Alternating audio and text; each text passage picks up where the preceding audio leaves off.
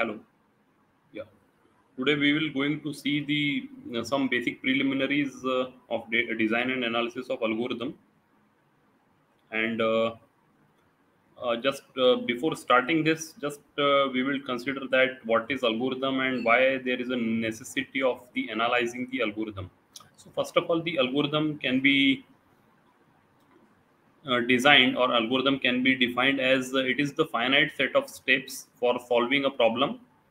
And uh, in terms of input if we consider that uh, some in, some algorithm may consist some inputs but it is also possible that uh, some inputs are not having any particular specific input.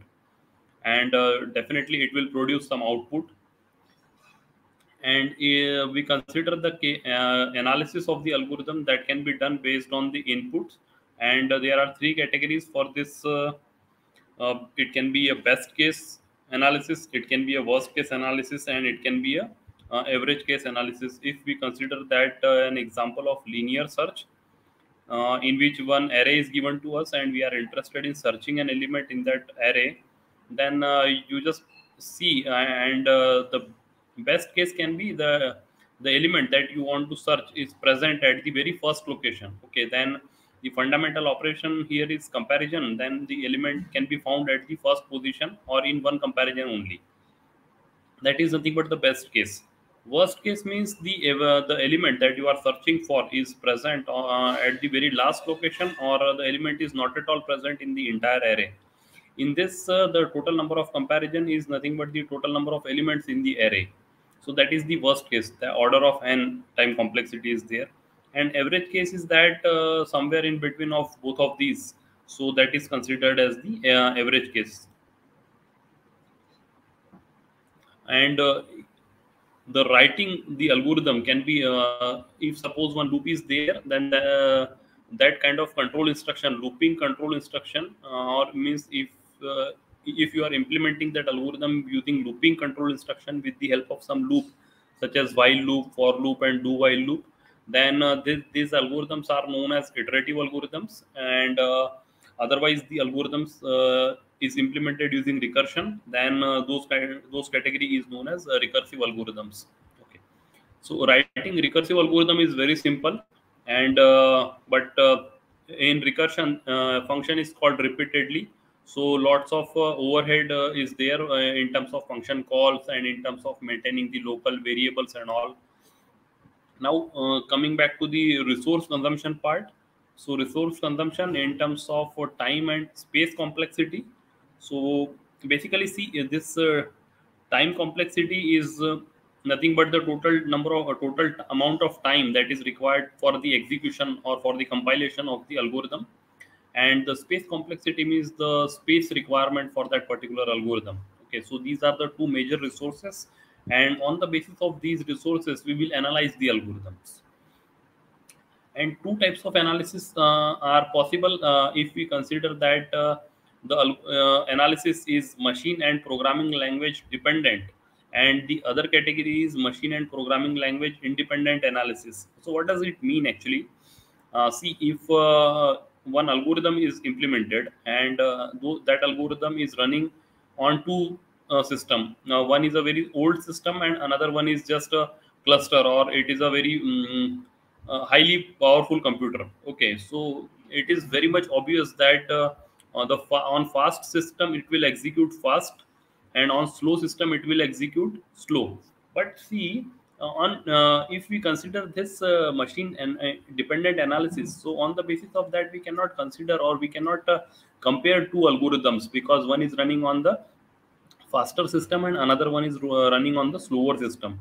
However uh, other thing is that uh, if it is machine dependent and uh, sorry programming language independent and programming language dependent so it may possible that uh, suppose one uh, linear search program is there one is implemented in c language and another one is implemented in python language. Then if you are going to compare both of these then we will not get the correct comparison because the languages are different the interpretations are different like this so basically uh, we will be targeting this machine and programming language independent analysis we are not interested that on which machine you are going to execute that particular code we are not interested in uh, the programming language in which you are implementing your algorithm So our analysis should be machine and programming language independent.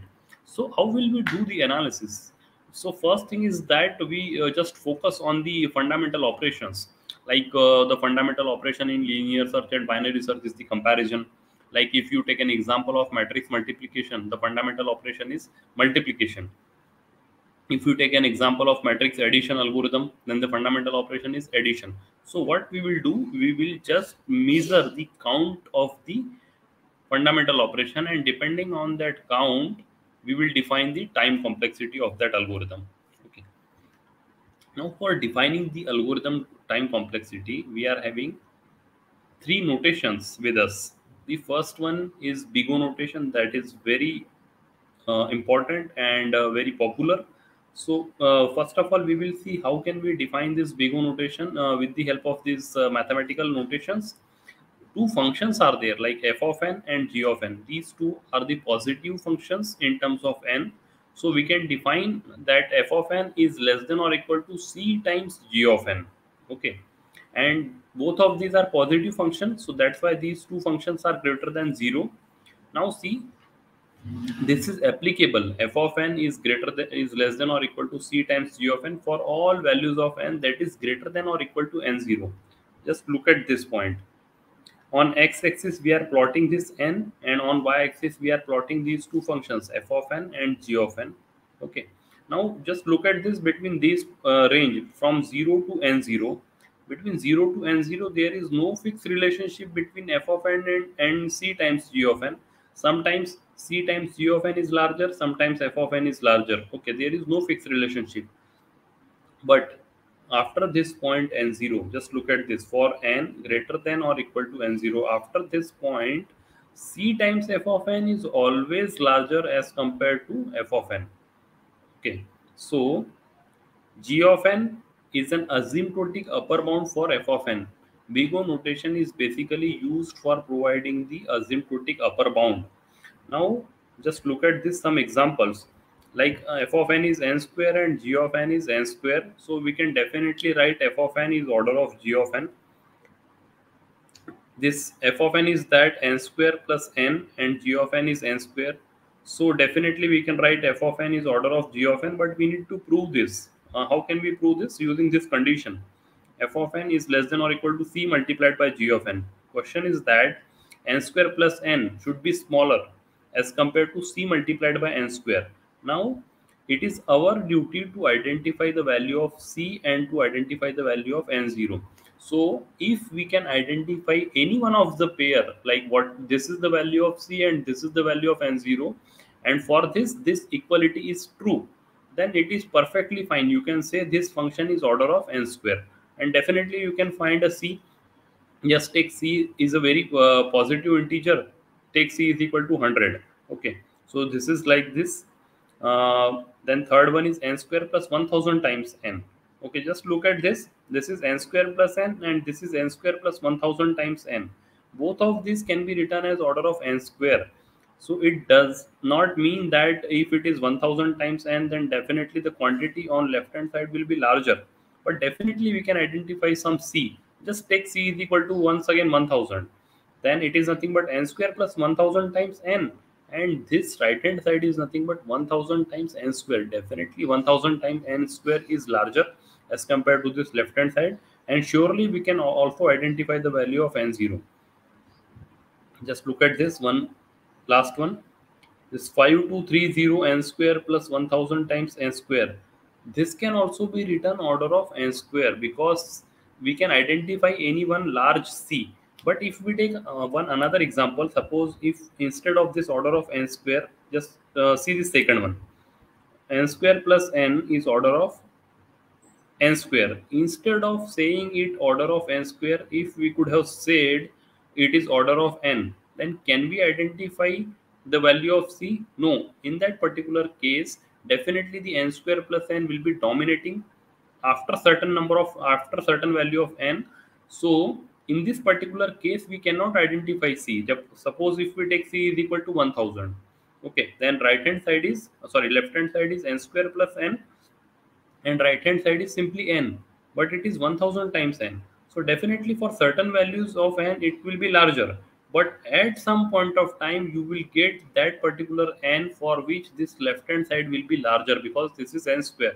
At some point of time it will definitely left hand side will definitely dominate the right hand side. Now what is the solution? Just increase the value of c. Instead of taking c is equal to 1000 just take c is equal to 10000 then what will happen? Now this time left hand side is n square plus n and right hand side is 10000 times n definitely this 10000 times n is larger but surely you will get one value and after this that particular value n square plus n will be dominating. It will dominate this right hand side 10000 times n. So what is the thumb rule here? Just see the growth of the larger function. Just see here. This is n square this is n square. So definitely we can write this if this is n square so we can also write order of n cube order of n to the power 4 anyway we are providing the upper bound. Okay. Now if n square plus n is order of n square it means that we are providing this upper bound. Okay. Now we can also say order of n cube. That is also correct. What is the difference between both of these? The first one when we are saying this second one is order of n square it means that we are providing asymptotically tight upper bound. If we are saying order of n cube then it means that we are providing upper bound but that is not asymptotically tight. What does it mean? The growth of left hand side and right hand side is not similar. And when we say that growth is similar just look at this left hand side and right hand side. Here the larger uh, the largest power of n is 2 here also largest power of n is 2 so growth is similar just look at this second one n square plus n this is n square. So this is larger largest power of n is uh, this uh, n square. And here also the largest value of n is n square. So once again we can say growth is similar. But instead of this if uh, we would have said that it is order of n cube. So in left hand side the growth of uh, means growth will depend on n square. And in right hand side the quantity is n cube. So definitely it will provide the upper bound but this upper bound will not be asymptotically tight because the order of n cube the growth of n cube will be very very large as compared to n square plus n. Then in that case what will happen when you plot this f of n and g of n okay such as in case of this second one n square plus n okay and this is order of n square. If you plot the graph between f of n and c times g of n then see the growth is similar. There is no fixed relationship between 0 to n0 but after this point n0 to any number this growth is similar. Just look at this. Uh, why we are saying the growth is similar? Because the difference between f of n and g of n is uh, very much similar. It is not going to increase at all. Instead of order of n square if we would have said it order of n cube then it means that this n f of n will remain as it is but g of n c times g of n will be growing x like uh, will be growing very very fast. Then what will happen? The difference between f of n and c times g of n will be increasing like this. Okay. So it means that when the difference is increasing it means that the bound provided by this asymptotic notation is not asymptotically tight. The growth is not similar like this see some more example. Just n is order of n square. Definitely it is correct because the it is the larger power. Okay. And it will also provide the upper bound. n by 12000 is also order of n square. n to the power 1.99 is also order of n square. n square by log n is also order of n square. Okay. So this notation is used for providing the upper bound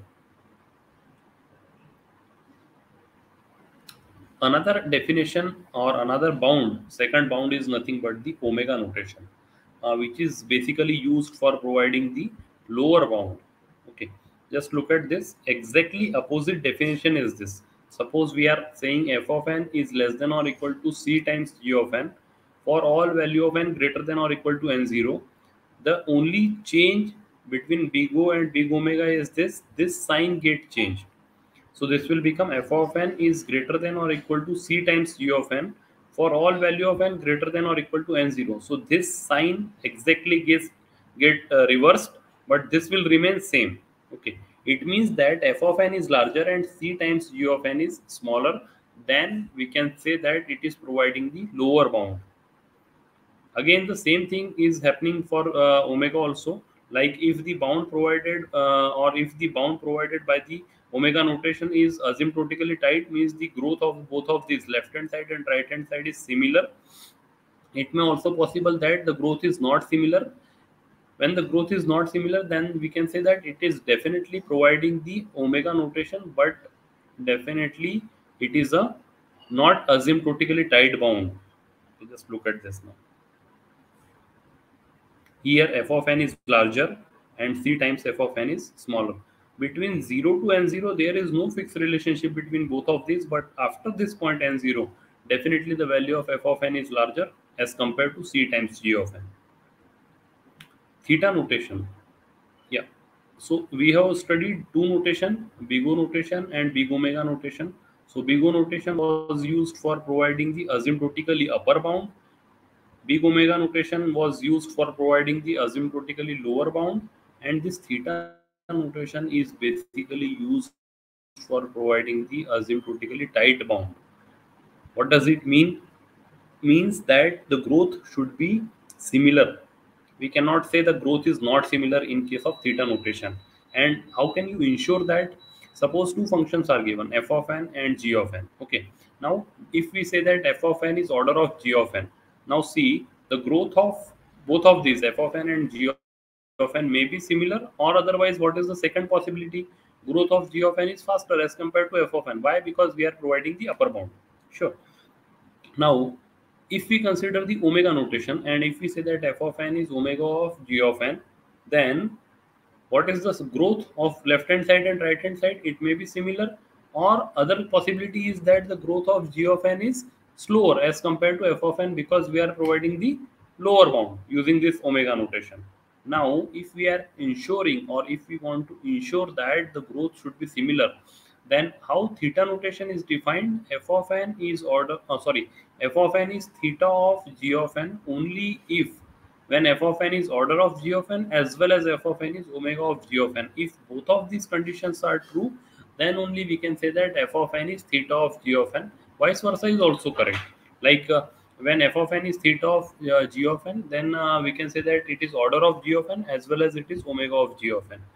How will you define this? See if you look at this graph so two possible uh, three things are there. First one is f of n. Like we are saying f of n is theta time uh, theta of g of n. So one definition is this. F of n is less than uh, sorry f of n is greater than c1 times g of n and f of n is less than g, uh, c2 times g of n. Okay. Now if we look at this first pair f of n and c1 times g of n which one is smaller? This c1 times g of n is smaller. Okay. What does it mean? When this c1 times g of n is smaller as compared to f of n it means that we are ensuring the omega notation. Fine. And then if f of n consider this second pair f of n and c2 times g of n. So c2 times g of n is larger as compared to f of n. And we can say that it is providing the order of notation so f of n lies between both of these c1 times g of n and c2 times g of n where c1 c2 are the positive constant. Okay. And after this point n0 there is a fixed relationship between these three but before this point there is no fixed relationship. So we can write like this. C1 times g of n is less than or equal to f of n is less than or equal to c2 times g of n. For all value of n greater than or equal to n0 if we just look at this first one c1 times g of n is less than or equal to f of n. It is nothing but f of n is omega of g of n okay? And if we just look at this second one f of n is less than or equal to c2 times g of n it means that we are saying f of n is order of g of n. Okay. So basically uh, theta notation is used for providing the uh, asymptotically tight bound. Asymptotically tight bound means the bound provided by any asymptotic notation. The growth of uh, this uh, left hand side and right hand side should be similar so this is the summary of this. The first one is this uh, sorry second one is order of notation. C times g of n is larger. This uh, figure c is nothing but uh, omega notation. C times g of n is smaller Okay, and figure A is nothing but a combination of both of these. So uh, f of n is lying between both of these, and the growth of these uh, will be similar.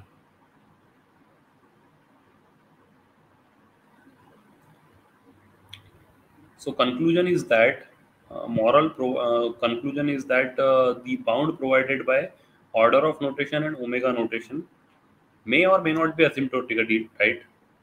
Bound provided by order of notation and omega notation may or may not be asymptotically tight, but the bound provided by theta notation will be definitely asymptotically tight.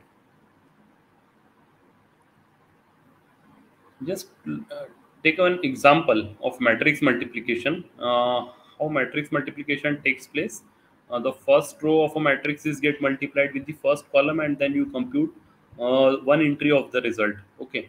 So number of columns in first matrix and number of rows in second matrix should be same. But here uh, anyway, we are considering this as a square matrix.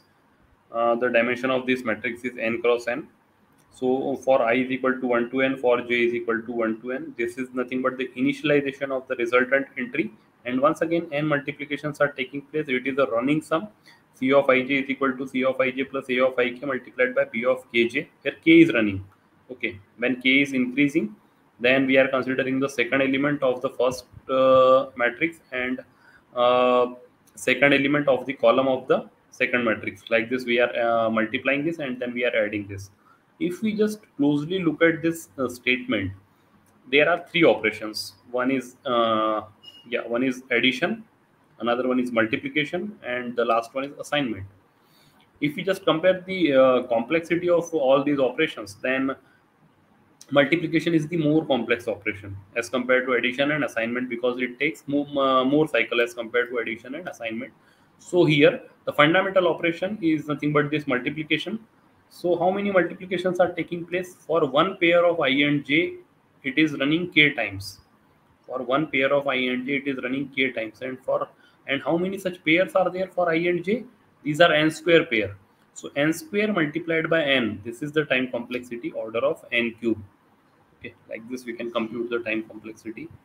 Now we are saying order of n cube. Can we say it or omega of n cube? Yes, definitely we can say omega of n cube. Another possibility, can we say it theta of n cube? Yes, when it can be written as order of n cube and theta, uh, omega of n cube, then definitely it can also be written as theta of n cube. Can we say it order of n to the power 4? Yes, we can say it order of n to the power 4 because n to the power 4 is providing the upper bound.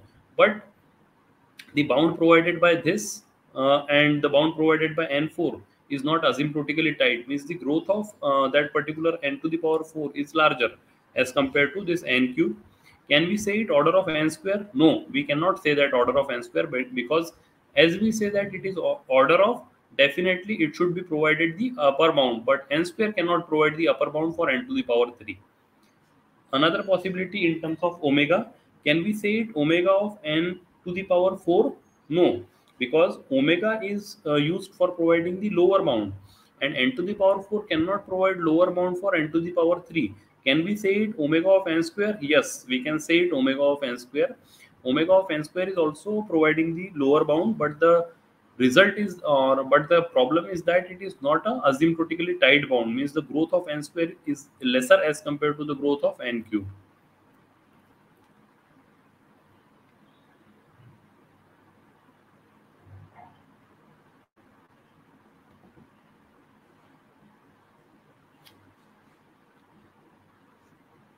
Now just look at the some questions on this asymptotic notations.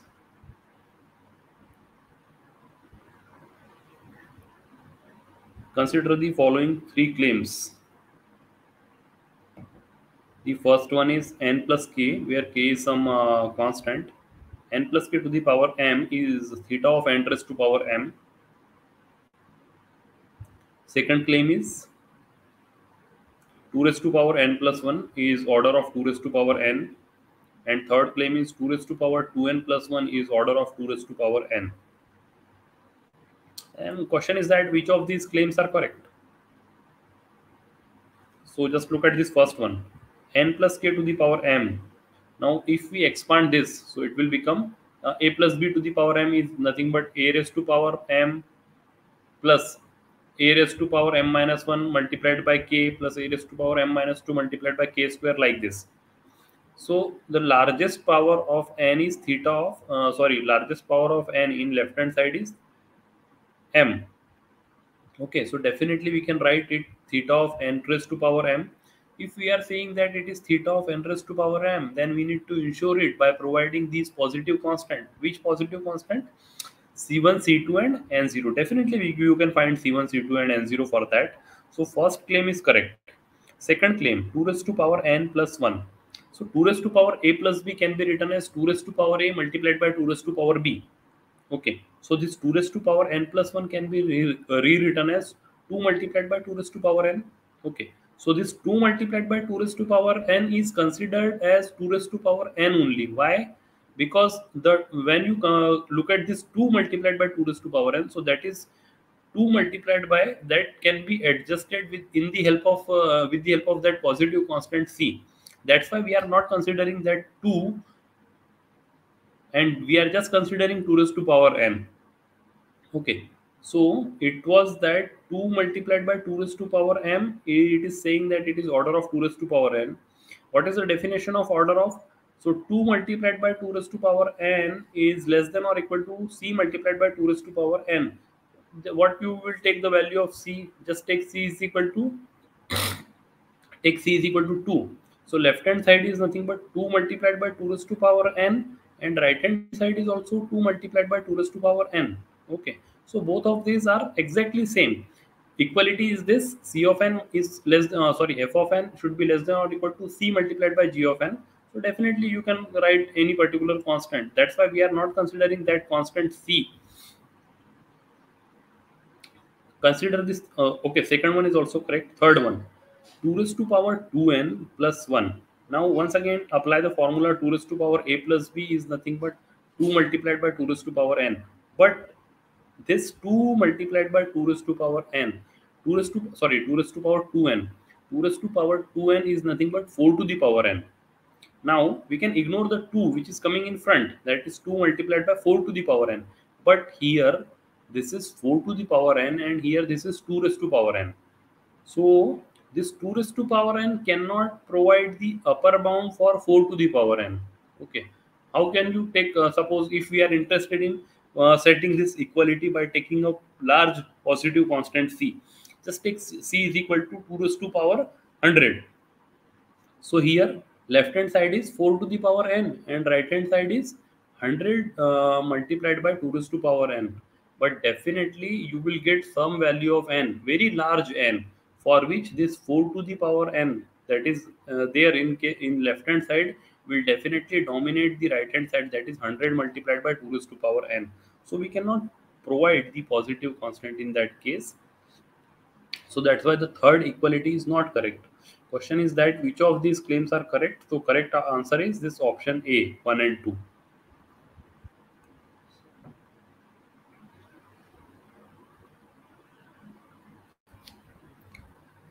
Now, if we just look at the growth of the function, okay, just look at this uh, growth of the function when this is 1 to 13 simply numbers are there and these are the function in terms of n. First function is log n second is n square n cube and 2 raised to power n.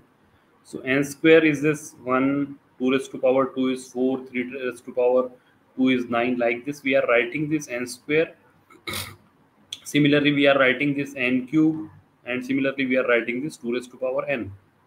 Okay now uh, this is log n base 2 so log 1 any base is 0 log 2 base 2 is 1 okay then uh, we are just writing this uh, when n is equal to 4 so that can be written as 2 raised to power 2 so log a raised to power b is nothing but b log a okay so this b comes into uh, in front and it will be log 2 base 2 so that log 2 base 2 is 1 and 2 is coming in front that's why it is 2 similarly if we just look at this 8 so 8 can be rewritten as 2 raised to power 3. 2 raised to power 3. 3 comes in front and it will become log 2 base 2. So that's why this 3 is there. What about this? Log 5, log 6, log 7. This will be some values between 2 and 3. this will be something 2.2 2.4 2.6 like this okay now if we are interested in setting the or if we are interested in comparing uh, the growth of the function just compare this log n and n square okay definitely if you just look at all these values this is 1 this is 4 this is 2 this is 16 this is 3 this is 64 definitely you can conclude that uh, which function is having larger growth n square is having larger growth. If n square is having larger growth then we can write that uh, log n is order of n square. Smaller function is always order of larger function. We can write smaller function is always order of larger function. That's why we can just write log n is order of n square. We can compare this log n and n cube definitely we can say that log n is order of n cube because n cube is larger definitely it was there uh, log n is order of n square then definitely it will be log n is order of n cube log n is order of 2 raised to power n and so on now if we compare this n square and n cube so definitely n square will be uh, smaller as compared to n cube. So we can write n square is order of n cube. Now if we just look at the comparison between n square and 2 raised to power n. Compare this n square and 2 raised to power n. Now this is 1, this is 2, fine. So 2 is larger. This is 4, this is 4, the, uh, the values are same. This is 9, okay and this is 8 okay so this 9 is larger so what is happening here here uh, 2 is larger here these are same here 9 is larger and 16 is once again same. Then here 32 is there so 25 is smaller. Then here 36 then it is 64 then here 49 it is 128 for 64 256 so what conclusion can we draw? See for this value 1 and 4 there is no fixed relationship between n square and 2 raised to power n sometimes n square is larger such as this 2 is there. Sometimes uh, both of these are same such as 4 and 4 16 and 16 okay. Now after that uh, this n square and this uh, n uh, 2 raised to power n we are comparing. Sometimes this n square is larger. But after this point after this point 4 and all the values after this 4 definitely 2 raised to power n is larger. Just look at this after 16 16 16 these values are always larger 32 is larger than 25 64 is larger than 36 128 is larger than 49 256 is larger than 64 and so on. So if you remember the definition of order of notation just look at this order of. Between 0 to n0 there is no fixed relationship. What is the value of n0 here? N0 is 4 okay between 1 to 4 there is no fixed relationship between n square and 2 raised to power n. But after this point 2 raised to power n is larger as compared to n square so we can say that f of n is order of g of n okay so we can say n square is order of 2 raised to power n fine now this was one comparison. See another comparison. If we just look at this comparison, compare n cube and 2 raised to power n. Compute this. n cube and 2 raised to power n. Okay. If we are comparing the last two columns, so this 2 raised to power n is larger, but after this uh, n cube is larger. This 8, then this 27, then this 64, then this 125 by looking all this value we can conclude that that n cube is larger as compared to 2 raised to power n. But don't be hurry in deciding this uh, which uh, value or which function is larger. Just go ahead this is 216 this is 64 once again 216 is larger. This is 343 once again it is larger than 128 this is 512 once again it is larger than 256 this is 729 once again it is larger than 512 okay we can conclude that this n cube is larger. Okay but have some patience. This 1000 see this is 1000 and this is 1024 now this time after these many values this become 1024 and this is 1000 but from this 2 to from this 9 these n cube is larger as compared to 2 raised to power n but after this point this n 2 raised to power n is larger. Just look at this. This become 1331 and this become 2048. This become 1728 only and this become 4096. What is the conclusion? There is no fixed relationship between 1 and 9. Okay, from 1 and 9 in this range. But after this point, from 10 onwards, the growth of 2 raised to power n will dominate the n cube fine if we are comparing if we are comparing n square and 2 raised to power n there is no fixed relationship between n square and 2 raised to power n for this range 1 to 4 but from this 4 2 raised to power n will dominate here while comparing it with n cube we are once again getting that and the 2 raised to power n will dominate n raised to power 3 but n is larger here Previously n was 4, now n is 10. If we would have compared this with n raised to power 4, then definitely 2 raised to power n will also dominate n raised to power 4, but the value of n will be larger as compared to 10. Are you getting what is the conclusion? Conclusion is that this all these functions n square, n cube, n raised to power 4, these are polynomial function. And this 2 raised to power n is nothing but exponential function. Definitely the growth of exponential function will be larger at some point of time.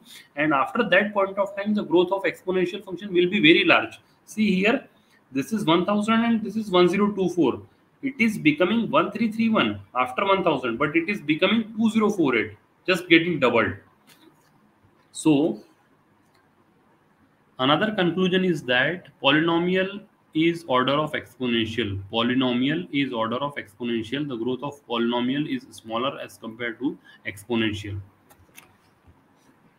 So all these are the graphs. This is constant 1. Fine. After that log n is there. Then n is there. Okay. If we just compare log n and n, uh, which function is having larger growth? n is having larger growth. See here. This is 1, this is 2, this is 2, this is 4, this is 3, this is 8 so n is having larger growth, so we can say log n is order of n. Fine.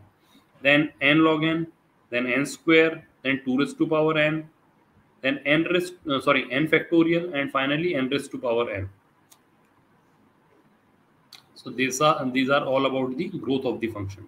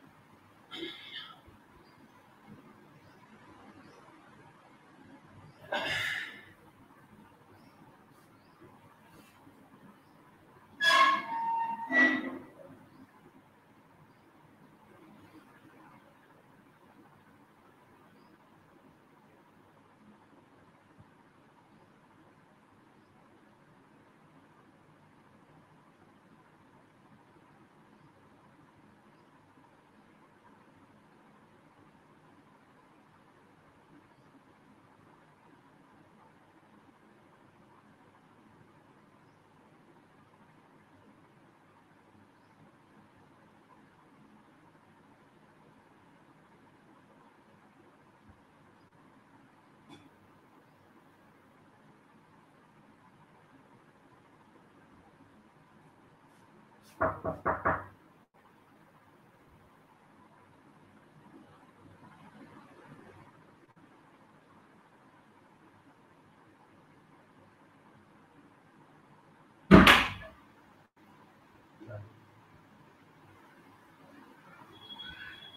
à, tôi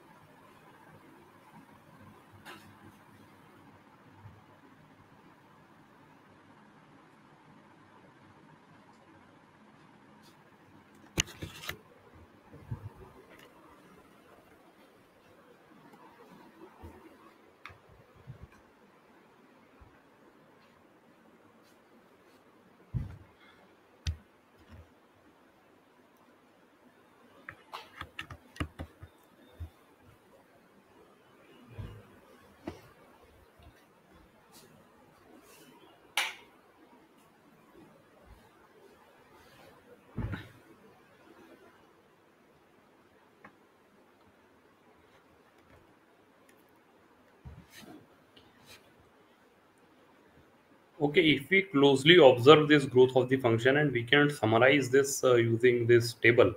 So this uh, n is there. So we are just writing n in terms of 2 raised to power 2. We are not writing all the values here. Then this is order of 1, so it is constant. So for each and every value of n, this will become 1 only. Then this is logarithmic. So order of log n is there. But simply this uh, order of uh, log n means so log 1 is once again actually this should be 0 but by mistake it is written 1 here. Then log 2 base 2 is 1 because the base of this log is 2 then log 4 is 2 log 8 is 3 like this 4 5 6 if we just look at this it is linear order of n. Okay so simply we are just writing this in terms of n only. Then this is n log n so just look at this. We can just find out the growth like uh, and the relationship between the two functions such as if we just compare this n and n log n. So the growth of n log n is larger. This is one. So when uh, growth is larger, then we can write n is uh, order of n raised to power, sorry, n is order of log n, n log n. If we compare this n log n and n square, so definitely n square is larger as compared to n square. This is 24, this is 64, this is 64, this is 256 okay so we can say n log n is order of n square. Then we compare this order of 2 raised to power n. So all these functions before this 2 raised to power n all these functions are uh, polynomial function. But this x, uh, 2 raised to power n is an exponential function. Just look at this uh, the growth of this function. See this 2 4 16 2 56 after that 65 if we just look at this 2 raised to power 64 so 2 raised to power 64 is becoming 1.84 multiplied by 10 raised to power 19 very huge number as compared to n cube as compared to n raised to power. If we take n raised to power 100 if we take n raised to power 100 then also this 2 raised to power n will dominate at some point of time. Okay so this is the power of exponential function.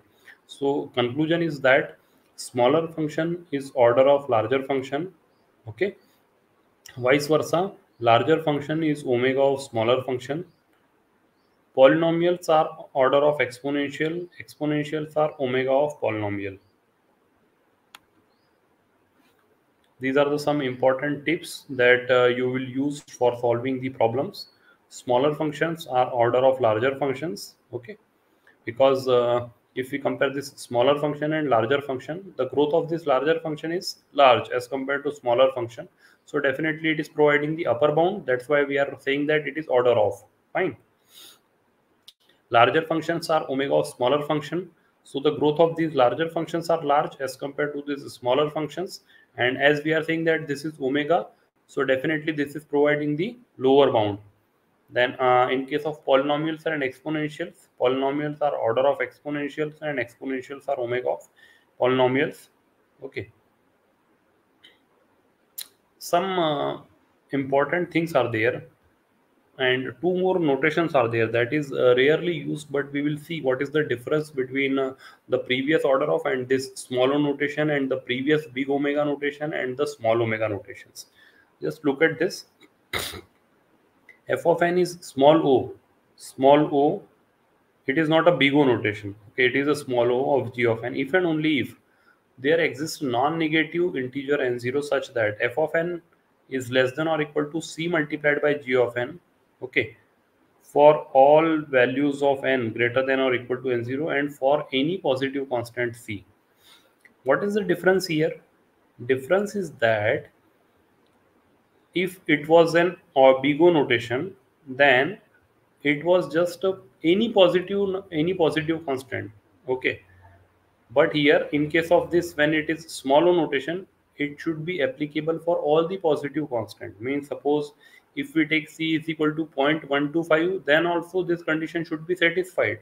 If we take c is equal to 100, then also this condition should be satisfied. Means for all the values of c, we should be able to find some value of n0.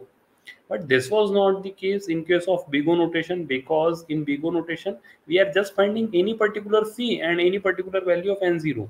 And for any one of the pair, if we can say that f of n is less than or equal to c times g of n, then definitely that uh, we can say that f of n is order of g of n. But this is not the case with omega small omega notation what is the difference between small o and big O notation? Big O notation is providing the upper bound. Small o notation is also providing the upper bound. But difference is that the notation or the bound provided by big O notation may or may not be asymptotically tight, but the bound provided by small o notation will definitely not asymptotically tight. Means the growth of c times g of n should be definitely larger as compared to f of n. The growth should not be similar. This should be larger. Okay, fine. Similarly, if we compare this small omega and the big omega notation, so what was the definition of that? f of n is greater than or equal to c times g of n for all values of n greater than or equal to n0 and for all the positive constant c. So this should be applicable for any or for all the positive constant. We can take any value of c and for any value of c we should be able to find the positive constant n0 such that this equality is true. But this was not the case with uh, big, o, big omega notation because in case of big omega notation if we would have able to find out any one pair of c and n0 then we can say that f of n is greater than or equal to c times g of n and this c times g of this g of n was providing a lower bound for this difference between this big omega and small omega.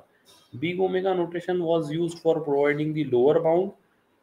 Big uh, sorry small omega notation is also used for providing the lower bound. Difference is that the bound provided by big omega notation may or may not be asymptotically tight but the bound provided by small omega notation will definitely not asymptotically tight see the example. This is n square. So n square is order of n cube. That is correct okay this is small o not capital o fine. If see here the growth of n square is smaller as compared to n cube. So definitely we can say that this is order of n cube and we can just find these positive constant. For any positive constant c this n cube will be larger as compared to n square. But if we just look at this this left hand side is also n cube and right hand side is also n cube in this particular case we cannot say that f of n is small o of g of n because the growth is similar. So definitely it is not uh, satisfying it for all the values of c. Yeah these are the conclusions bound provided by earlier three notations. May or may not be asymptotically tight but i want to rectify this statement. Bound provided by earlier three notations not three notations two notations big omega and big theta sorry big omega and big o notations but what about theta notation for theta notation definitely it was an asymptotically tight bound and bound provided by these two notations which two notations small o and small omega notations will not be asymptotically tight. So this is the case. Some questions are there and we will just compare these. First of all, we will just need to see the growth of the function.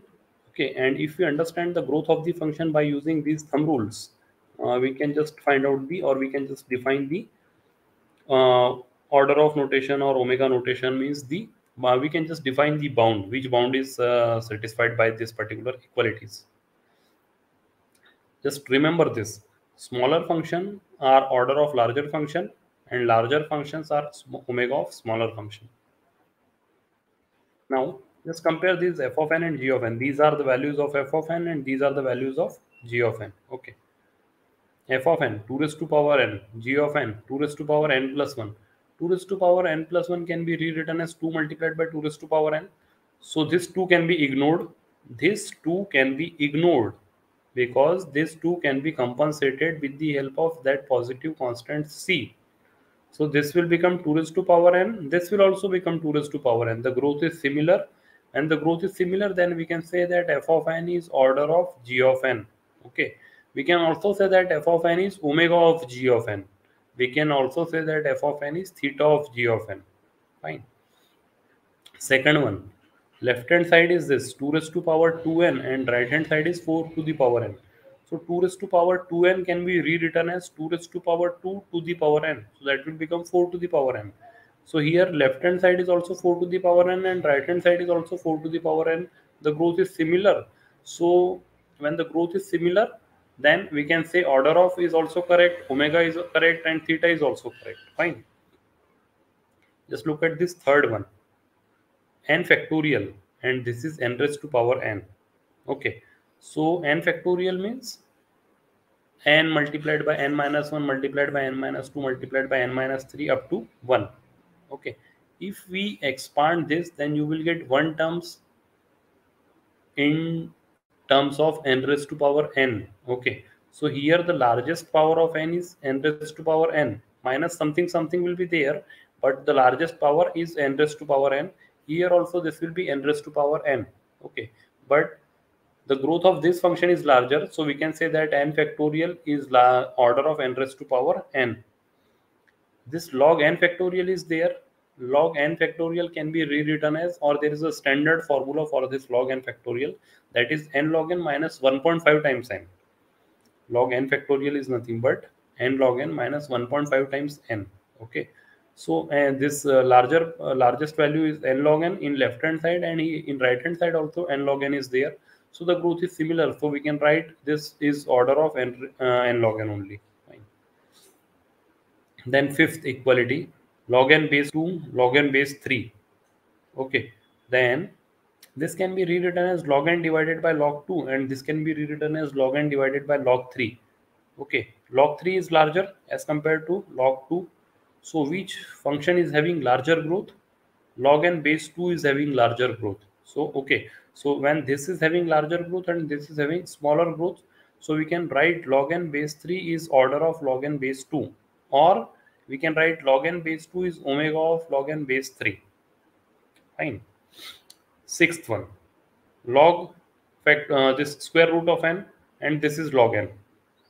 Now this will become n raised to power half log a to the power b is nothing but b log a so 1.5 comes in front that will become 1.5 uh, 1 uh, sorry 1 by 2 1 by 2 log n and this will become log n so that 1 by 2 can be ignored that comes in front because that 1 by 2 can be compensated in the help uh, with the help of that positive constant c so that will become uh, in left hand side also it is log n and in right hand side also it is log n so we can say order of is also correct, omega is also correct, and theta is also correct. Fine. This one, C. Seventh one, this will become log n square. Okay, so uh, log n square can be written as this 2 comes in front. So that will become 2 times log n and this will become log n whole square. Now this is 2 times log n and this is right hand side is log n whole square. So definitely log n whole square will dominate this 2 times log n. So which function is having larger growth? this log n whole square is having larger growth this is having smaller growth so this function is having order of this function so log n square is having uh, sorry is order of log n whole square. If we would just compare this n and log n okay so n is having larger growth so we can say that n is omega of log n. Log n is order of n fine then ninth one this is n square log n and this is n multiplied by log n to the power 10 just see here if we just compare n and log n so which function is having larger growth? N is having larger growth the power of n here is 2 and the power of n here is 1 okay. Now here the just compare the power of log n in both of this. So here the power of log n is 1 and here the power of log n is 10 but definitely this n square is there with uh, this log n. So definitely the power of this n square log n is having larger growth as compared to n multiplied by log n to the power 10 so left hand side is having higher growth as compared to right hand side so we can say that left hand side is omega of right hand side or right hand side is order of left hand side. That is also correct. 10th one. This is n and this is log n to the power 100 fine. When this is n and this is log n to the power 100 if we compare n and log n so log n is smaller as compared to n but it is the power of 100 but definitely at some point of time the value of n will get uh, increased and n will dominate log n to the power 100 so right hand side is having smaller growth as compared to left hand side.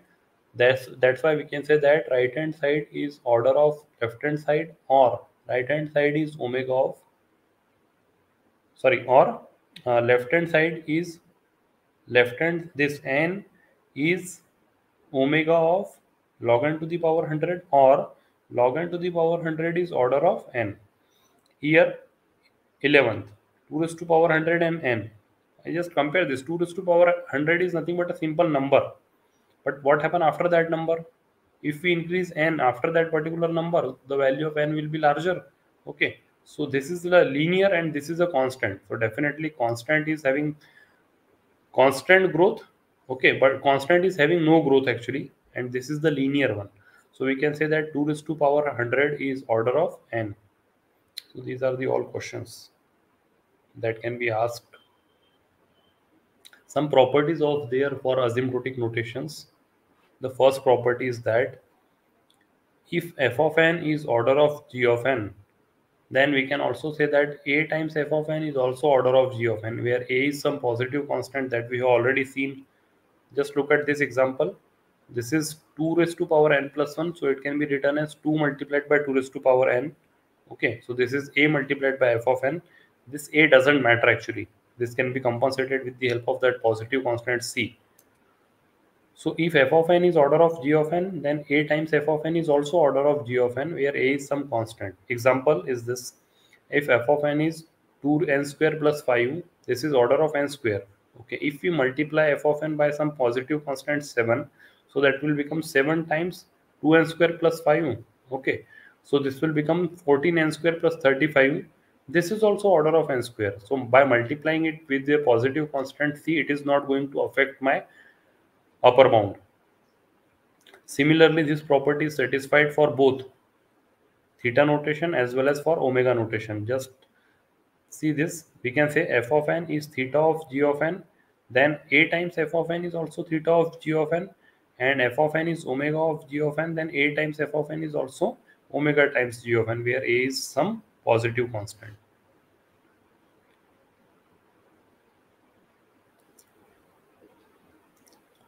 another property is nothing but the reflexive property reflexive property means the reflection of one function on uh, itself okay so if f of n is given then we can say f of n is order of f of n. That is perfectly fine because the growth of both of these are similar. This property is also applicable for omega notation as well as for theta notation. See if f of n is n square so we can definitely say that this n square is order of n square. Okay. Similar uh, yeah if f of n is given then f of n is theta of f of n as well as if f of n is given then we can say that f of n is omega of f of n. This is reflexive property and uh, it, it is leastly used but see. Uh, the next property is interesting that is nothing but the transitive property. Transitive property say that uh, what is uh, the transitive property? Like if a is related to b and b is related to c then it says that how a is related to c. So if f of n is order of g of n and g of n is order of h of n, okay, then definitely we can say that f of n is order of g order of h of n. f of n is related to g of n, g of n is related to h of n. Then definitely f of n will be order of h of n. So see if we take an example f of n is n and g of n is n square and h of n is n, n cube. Okay, we are saying that f of n is order of g of n yes and this is n square and we can also tell that g of n and this h of n. So this is n square this is n cube. Definitely we can say that n square is order of n cube. Then if we are just going to compare n and n cube so we can say that n is order of n cube.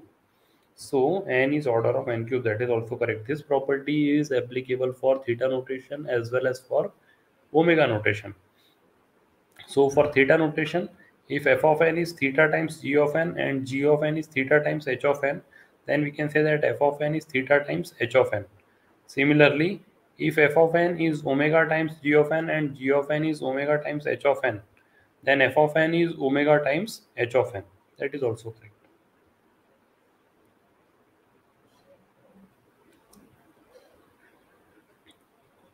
Then uh, symmetric property is there.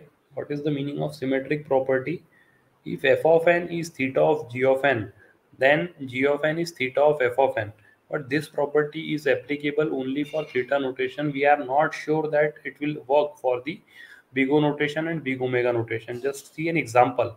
When f of n is n square and g of n is also n square, so if we can say that f of n is theta of g of n, if we are saying that f of n is theta of g of n, then definitely the growth of both of these function f of n and g of n will be similar. So g of n can also be written as g of n is theta of f of n. That is also perfectly fine. But in case if we say that f of n is order of g of n, if we say that f of n is order of g of n, then what about the growth of this function f of n and g of n? It may be similar, may not be similar. When it is a similar, then symmetric property is true. But when it is not similar, then when it is not similar, then we cannot say that the symmetric property will work for the big O notation as well as for the big omega notation. Transpose symmetric property. What do we mean by transpose symmetric? Transpose symmetric is this. If f of n is order of g of n, then g of n is omega of f of n. Means transpose symmetric. In terms of order of, we are taking omega. In terms of omega, we are taking order of.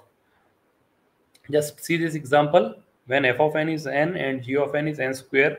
So definitely if uh, here f of n is order of g of n so we can say that g of n is omega of f of n. Here compare the growth of this left hand side and right hand side. The growth of n is smaller the growth of n square is larger.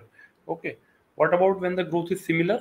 Then also it will be applicable because see if it is n square then it is also n square then we are saying that this n square is order of n this n square and this n square is omega of this n square. So that is perfectly fine.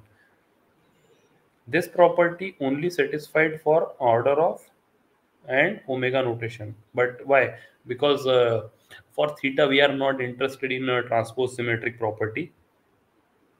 It is just a relationship between this order of and omega notation. Some more properties are there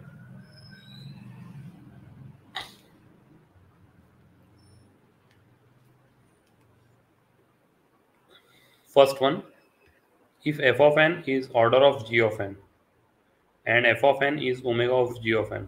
Yes, that is that we have already seen actually. Uh, and this is the definition of theta. Then f of n is theta of g of n means when it is providing the upper bound as well as uh, as well as uh, it is providing the lower bound, then only it will be able to provide the exact bound. Second one, f of n is order of g of n and d of n is order of e of n. See, these are different function f, g, d and e. Okay. f of n is order of g of n and d of n is order of e of n.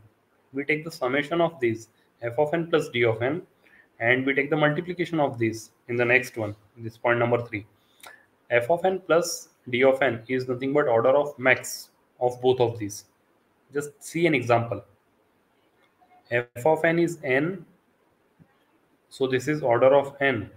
And d of n is n square. That is order of n square. Okay. Which one is larger? Uh, in both of these n square is larger. Okay. So we will take the max of this. F of n plus d of n is order of this.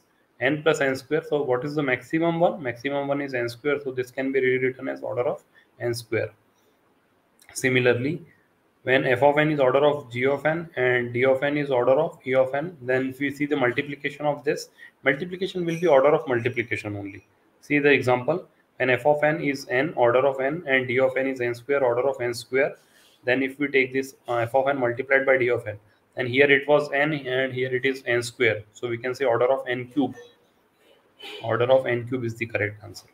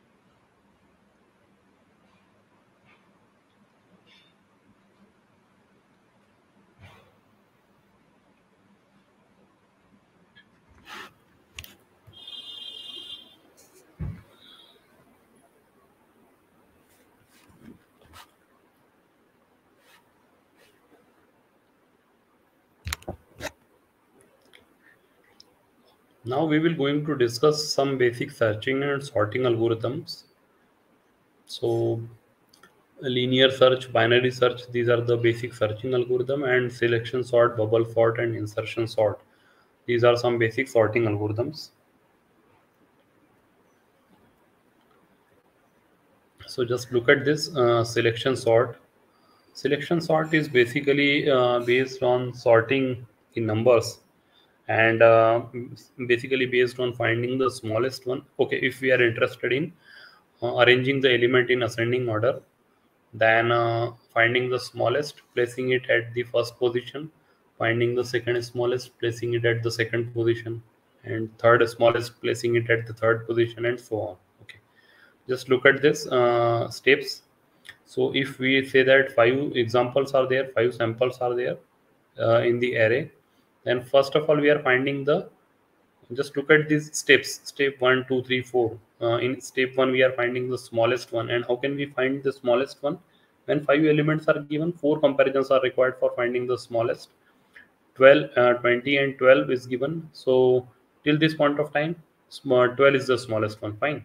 Then it is compared with the this 10 then 10 is the smallest one. Okay after this point it is compared with 15 then it is compared with 2 and it is compared with 2 then 2 is the smallest one. So this 2 comes at the first position. Then the selection sort will start for the remaining uh, remaining elements. Then from these elements 20 12 15 and 10 we will find the smallest one and we will place it at the second position like this. So see the algorithm what we are doing over here.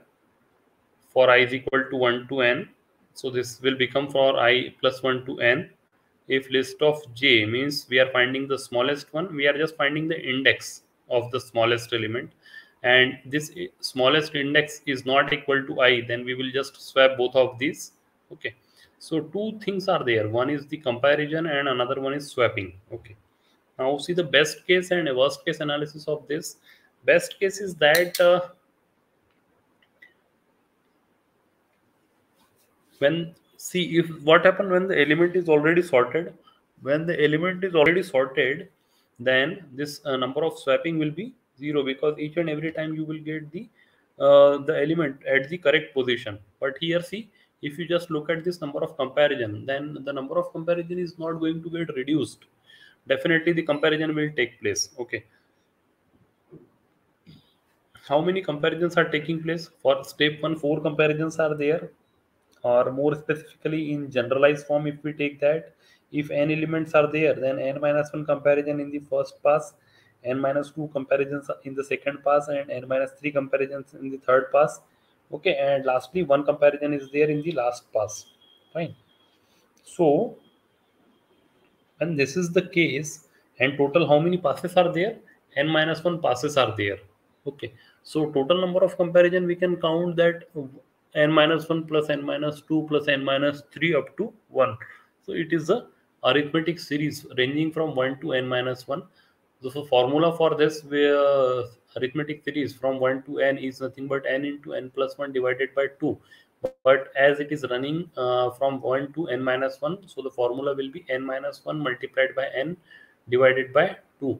So approximately we can say that order of n square is the time complexity if the fundamental operation is comparison in case of selection sort.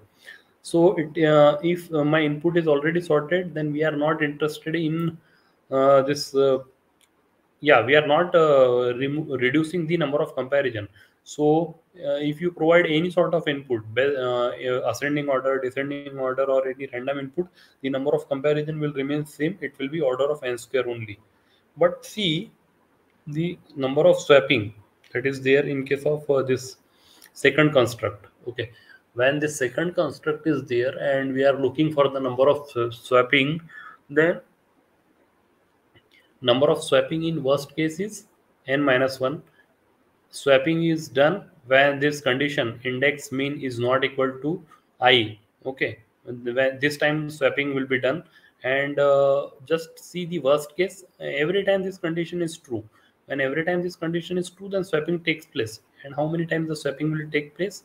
As many times as many uh, passes are there. How many passes are there? N minus 1 passes are there. So n minus 1 swappings are there in case of worst case. What is the best case? Best case is that uh, when you want to sort the element in ascending order and uh, the data is given in the ascending order or when when you want to sort the element in descending order and data is given in the descending order in that case what will happen? This condition index mean is not equal to i. This condition will be false each and every time. So number of swapping in the best case will be zero.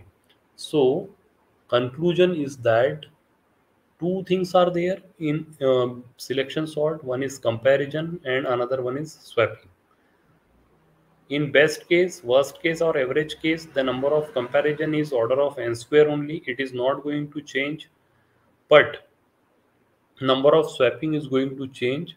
Okay if data is already sorted then number of swapping is zero. That is nothing but the best case of the algorithm. And if the data is not properly sorted or vice versa if uh, you want to sort it in arranging order data is given in descending order or when data is given in uh, when you want to sort it in descending order and data is given in uh, arranging order then every time you will make the swapping and maximum time you will make the swapping the number of swapping will be n minus 1 so number of swapping is order of n. Fine. So this was all about the selection sort. Time complexity is order of n square. Time complexity is decided based on the number of comparisons here because this is the fundamental operation yeah this was all about the analysis that we already discussed.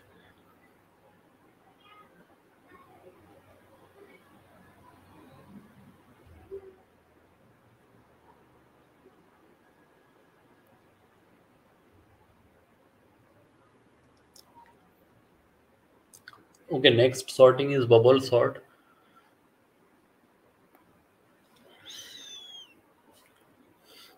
bubble sort is basically based on uh, making a comparison between the consecutive elements. And every time uh, if we, there is an inversion then we will swap. What does it mean by inversion? Suppose you want to sort the element in ascending order okay? Then at some point of time if you compare the consecutive elements such as for an example fifth and sixth element okay?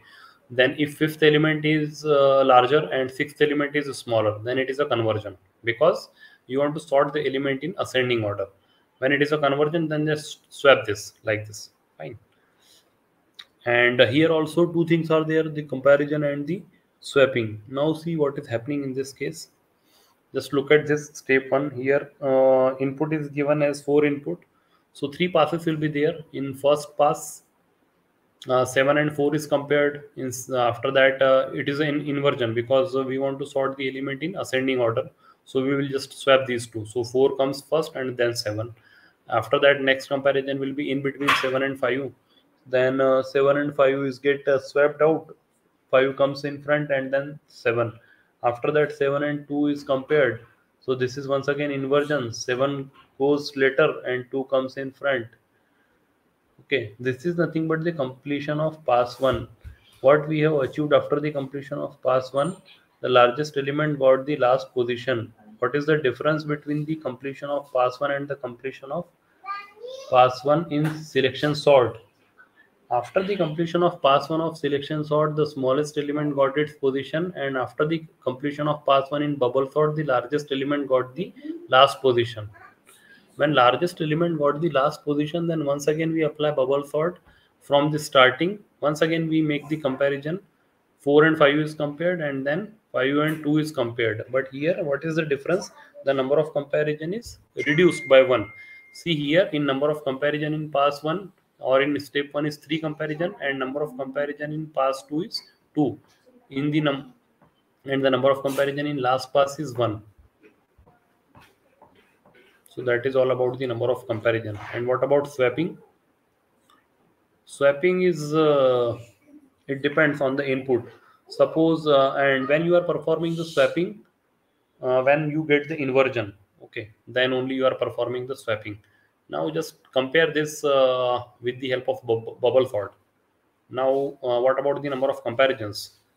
Number of comparisons uh, will be same uh, the number of comparison in pass 1 is n minus 1 number of comparison in pass 2 is n minus 2 and so on the number of comparison in last pass is n sorry is 1 so that is nothing but the total number of comparison. 1 plus 2 plus 3 plus up to n minus 1 so this is an arithmetic series. Once again the number of comparison is n into n minus 1 by 2 that is order of n square. Uh, this is the same as it was there in case of selection sort. What about number of swapping? Uh, swapping is done in case of inversion. Okay. So what is the best case and worst case of the inversion? Uh, in case of uh, number of swapping so if we take this uh, when data is given in ascending order and uh, you want to sort it in descending order then each and every time there is an inversion you will perform swapping. So here the number of swapping and number of comparison will be same. But uh, when the data is given in ascending order and you want to sort it again in the ascending order then uh, there is not an inversion in a single case. Then uh, no inversion is there and uh, every time you are not making a swapping so that's why the, this is the best case and here the number of swapping is zero. Can we do better than this or can we remove uh, here what is the conclusion? The number of comparison is n square and number of swapping is also n square more for more specifically uh, when we are taking a random input but uh, can we reduce uh, or can we reduce the number of comparison? See what what should happen here. The consecutive elements are compared. Just look at this pass one. And if in pass one the element uh, the input is given in ascending order and we want to sort it in ascending order. Then we will not get any inversion. So if we just compare the first pair okay just keep uh, it as it is. We take the second pair once again keep it as it is. We take the third pair keep it as it is. When pass one is completed and no inversion is there then the uh, thing is that after that no subsequent passes are required because the input is already in ascending order. So what we can do we can take any boolean variable and uh, if we are not if we are getting uh, not a single inversion in any of the pass then subsequent passes are not required. This is the logic. So we can just implement the modified bubble sort here. Just look at this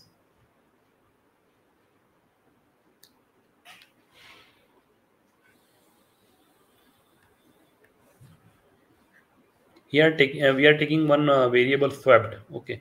So once again we are taking this uh, for outer loop is for the number of passes inner loop is for the number of comparison in that particular pass. Okay. Uh, compare consecutive elements are compared. Array j is compared with array j plus 1 okay. If it is an inversion then we are swapping and we are making this variable as false. Means we got an inversion. If we got an inversion then there is a necessity of subsequent passes. But if we are not getting any of the inversion in this inner loop then swapped will be true. Okay if swapped is equal to true then break means you come out of this loop. No subsequent passes are required. When no subsequent passes are required means when input is given in ascending order and uh, you want to sort it in ascending order in that case what will happen in pass one? You just come here in the out first iteration of this i loop j loop is running and each and every time this condition is false. So when you come out of this inner for loop swapped will be true. Okay when swapped is equal to 2 just you just perform this break statement you come out of this loop. So number of comparison and number of swapping in the best case when when the input is already sorted then what will happen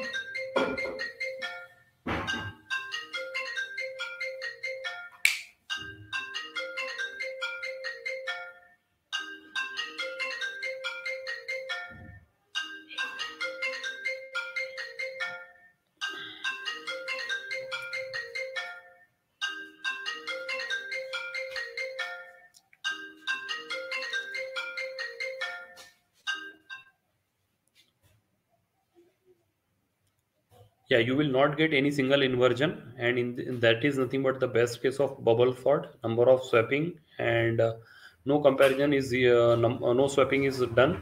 Number of comparison is order of n number of swapping is zero. That is the best case.